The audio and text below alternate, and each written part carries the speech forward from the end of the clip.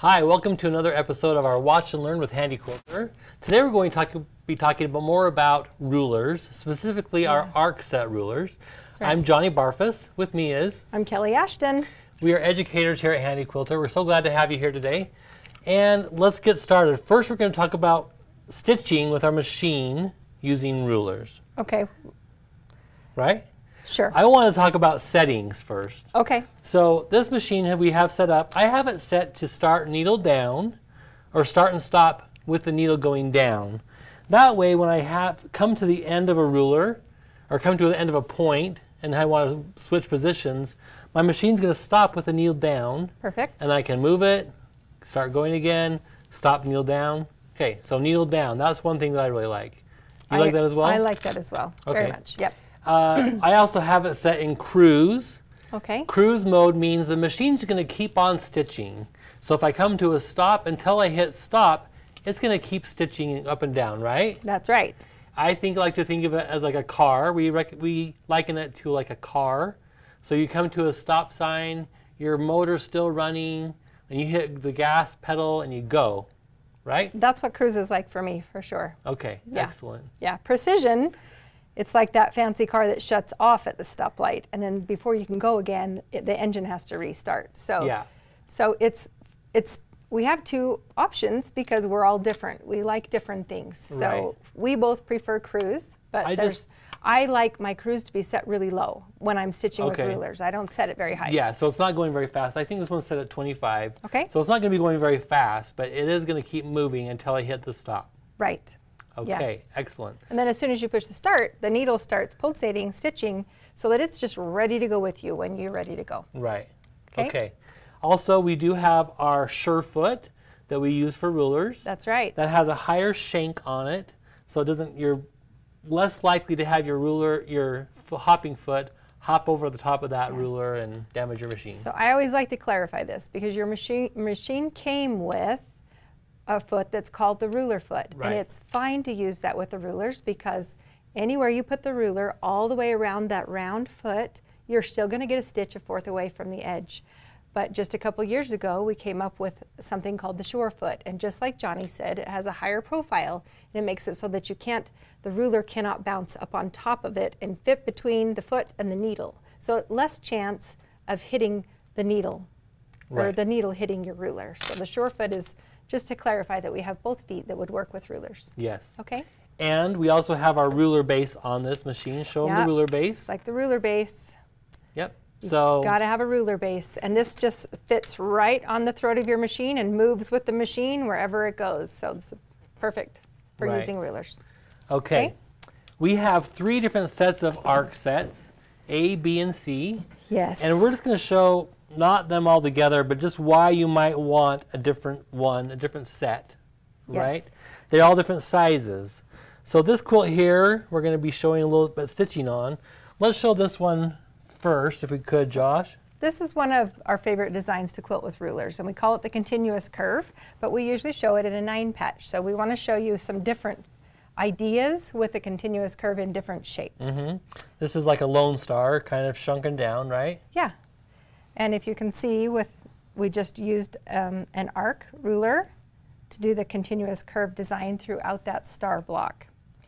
Now Johnny's working on squares over there, but they're offset. It's not the typical nine patch, they're offset, so the pathway is a little bit different.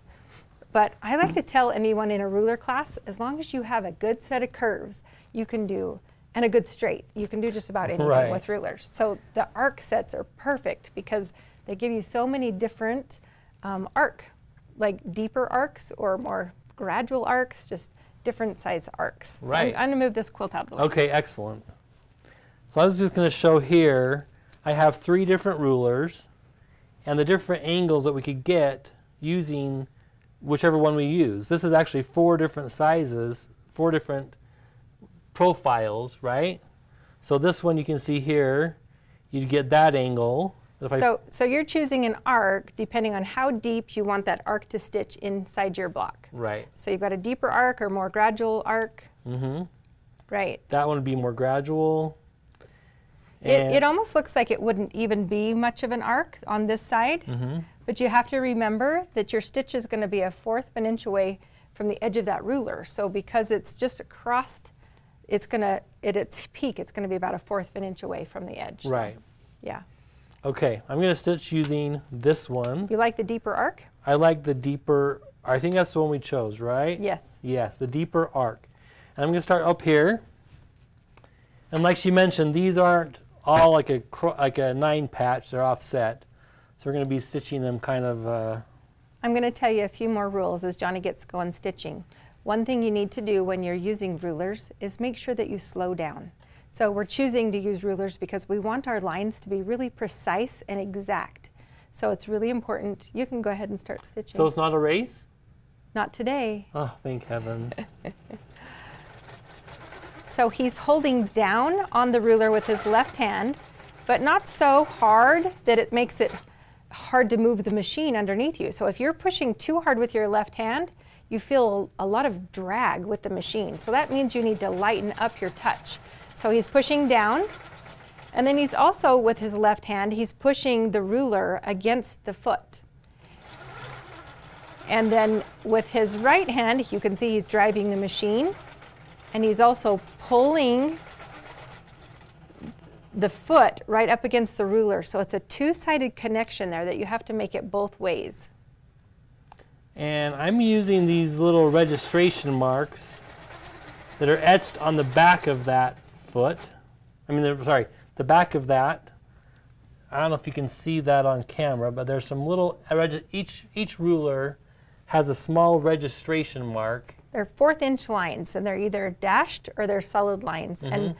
and because of the design he's choosing, one of them fits the dashed line, the second dashed line fits exactly on his seam. So it gives him that guideline to line it up Right. for. And this is a little bit awkward, right? With that. Uh, it is a little bit awkward to hold it that direction. But I like in the ruler class that Kelly teaches here at Handi Quilter Studios, she kind of makes people stitch out like that So to we, practice. We don't get to take our quilt off and move it around very easily, so we have to learn how to hold our ruler in kind of uncomfortable positions sometimes that we can we can use them to their best ability to help us measure so that we can do less marking. I really like the look of that. So Oh, go ahead. I was gonna say come up this way. Oh. And then when you go back, you can just go all Oh, across the oh, bottom oh there. man, that's why we have an expert, you guys. That's why Johnny's an expert.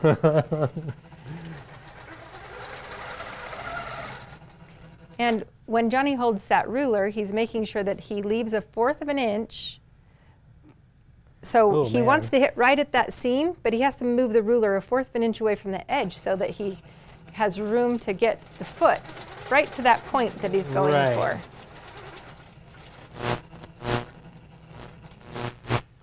And I I've said this before. I didn't use rulers until just this year really. And I really love it. I really love the way that they um, the exactness I can get Yes. And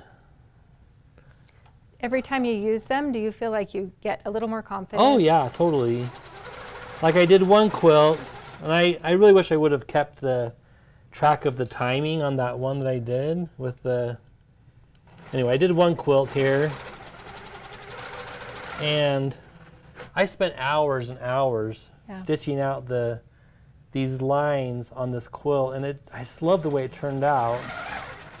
I love straight lines. One thing you have to remember is the way Johnny just drove it right there. That's the most natural way to do it because our our our arms want to come to our bodies. That's natural. Right. So when he does it this other direction where he's swinging it around like this, he has to be really careful and push that machine right up against the ruler because that's not the natural flow of our body. So he has to really be careful about watching that connection there. So And I I'm getting a little off just slightly, just ever so slightly. It's okay. And that that's okay. Uh, Let's do one more and then we'll, One we'll show more, him we some can other move art. on? Yeah. all right. Let me see. You did a good job hitting those points. I oh, really love it. Yeah, good job. So then should I just go back up? So then you'll go down to the bottom, and then you're going to drive it all the way up across the, and then you'll come down Like and do it this this way, right? Uh-huh. Okay. Yeah. Yep. So we could keep going or yeah. Since we can't fit the whole quilt in our throat space, you would just go that far and then advance your quilt and do the next row. Do you want to tell them a little bit about these this quilt here that we're working on? Yep, this is one of the quilts. Um, this is a table runner actually, and we, I th- think we've shown it before, but we did some felting on this with our new felting foot. So this is wool applique. We've got to do a little finishing. We didn't finish, but but felting is a lot of fun. You there? Yep. Okay. So then I would just step, move up here and come down this row. Right. Right? Yep. Okay, Perfect. excellent. Yeah. Should we show them the project that you brought in? Yes, so I wanted to show you another design that I love to do with arcs. So it's quilted out on this quilt right here. I'll let you hold that, Johnny. I love it. And this, it's just a, a design, you see it a lot of times in quilting on Pinterest, but it's, it's fun to do. It's perfect border design. And so I wanted to just kind of show you how that pathway would go so that if you're working with arc rulers, Okay. Are you going to draw that out? yeah, so I'm going to use Oh, This? excellent. Okay, and I'm just going to set my fabric on top of this board. So I have something, Ah, cool. something, and I just need an arc. So I'm going to go with this one right here. Okay. One thing you want to know is when you're stitching around one of these arcs, when your needle goes around that point, it actually doesn't make a point. It actually curves around there. So if I want a point, I actually need to, I'll show you on here. So I have this fabric kind of gridded, and often, I don't often need to mark it like this. Sometimes my piecing will allow me to do this, but sometimes in the borders, I'll have to make little marks. I definitely want to mark my spacing across so that it's even, so that my, my arc makes a nice mm-hmm. point. I'm going to go backwards just because that works best for here. But because I don't want to stitch around that point, I'm going to hold that point past the edge, and I'm going to stitch up to the point, and then I'm going to adjust my ruler. Remember, I'm keeping it a fourth of an away, a, a fourth of an inch away there. And as long as I have some good markings that tell me how deep I want my arc to go and how far apart I want the arc to go, this is really simple to quilt out in a border. Can you see how that works? And I love that tip for getting that sharp point. And, and I do want to use the same part of the arc. If it was a circle, it wouldn't matter which part of the ruler I was using. But because it's an arc, I need to make sure that I am using the same part of the arc. Mm-hmm. So I'm just putting like the tip an inch past my point, and that's my, that's my guideline. And I would just stitch it across there. And, and, and if you can see in the, in the st- stitching that we showed, I showed a few other lines coming back. Um, there's a lot of ways I might make a, a one inch mark down from there. And when I come back the other way, I'm going to just move it down like that. And then I'm coming back to my same point. Make that mark an inch below. And your, the ideas of what you can do with these arc rulers in a border are, are just kind of endless. There's so many things you can do. That's amazing. Yeah, it's and you're using fun. the panda pencil, I'm using the panda pencil to mark this dark fabric, so you can see where I was where I was drawing. Um, it was kind of hard to put two quilts on for us to, to demo on, so I just am drawing it on the paper for you. So, yeah. like I said, arcs are some of my favorite tools. I tell you every time we do rulers, oh, that's my favorite ruler. This week it's arcs. I love Yeah. arcs. you Um, have a lot of favorite rulers. I do have a lot of favorite rulers. Let's show them the ARC sets because That's a good we have three different sets. We have ARC A templates, and it comes with five different rulers, so you actually get 10 different arcs. Okay? And then ARC B, they're nested rulers, and there's three rulers that are nested. So you actually get one, two, three, four, five different arcs in this set. And this one has two rulers, so you just get one, two, three in this one.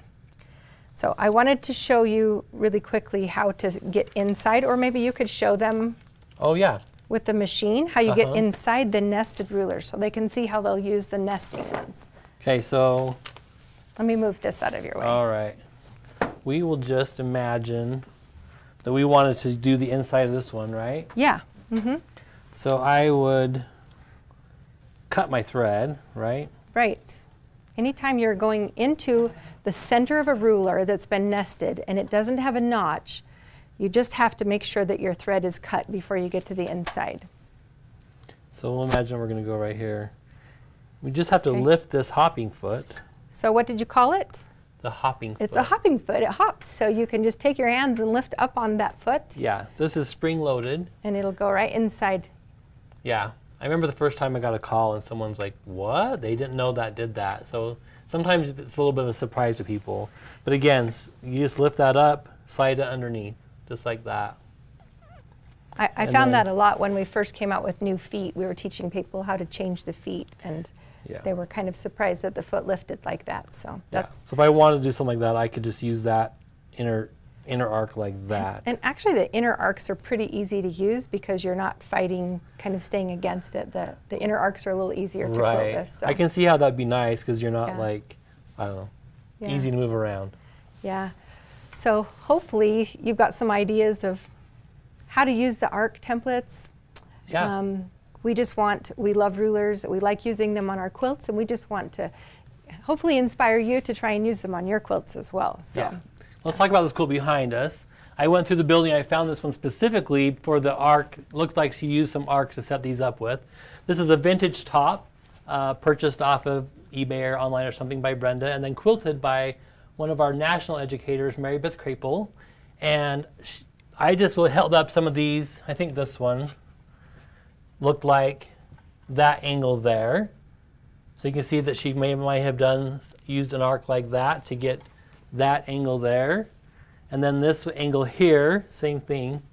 She might have used an arc like that. What a great example of how to use the arc rulers. Right? I think Mary Beth had to have used Mary Beth, comment and tell us how many arc rulers you use. Mary Beth follows our social media and posts for us, so Yeah. You did a beautiful job quilting that quilt. beautiful, beautiful We love it. Yeah, it hangs out right in our hallway, so we see it every day. Yeah. All right, anything else we need to cover about arcs? I don't think so. Okay, I think that's it. Yeah. Thank you so much for watching today. We really appreciate it. Go ahead and like this video and share it with your friends if you want, that you found value in it. And be sure to follow us on our YouTube channel. Right. Subs- Yep, thank you. Be, be sure to subscribe to our YouTube channel. And most of all, have fun quilting this week.